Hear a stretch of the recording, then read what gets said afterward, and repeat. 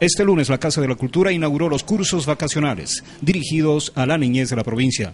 El presidente de la Rectora de la Cultura en Pastaza informó que alrededor de 300 niñas y niños están inscritos. Tanto en lo que es danza, pintura, música, en los instrumentos de guitarra y piano, así como también en pintura y ballet.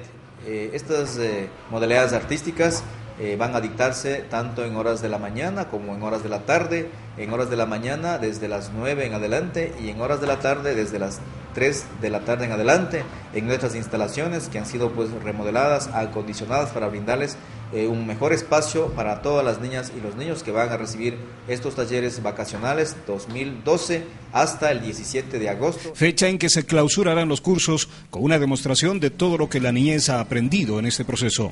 Por su parte, una madre de familia manifiesta que estos cursos permitirán a los niños ocupar su tiempo libre. los niños que aprendan a pintar, a jugar algo para que no pasen en la casa acostados mirando la tele.